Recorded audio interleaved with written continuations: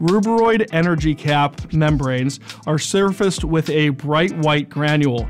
Bright white granule surfacings bring long-term solar reflectance to the building and helps keep the membranes at a lower surface temperature. These type of membranes can be used in all different application styles, heat welding or torched, cold asphalt applied, or hot mop asphalt applications. Bright white granule surface EnergyCap membranes are FM approved, classified by UL in accordance with the ANSI UL 790, and rated with the Cool Roof Rating Council for their reflective properties.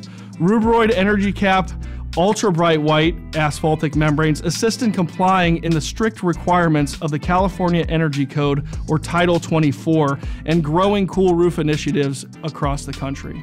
They offer building owners more ways to bring sustainable long term performance solutions to your new buildings or existing building upgrades. And they combine that durability of a modified bitumen system with the aesthetics of a solar reflective bright white surfacing.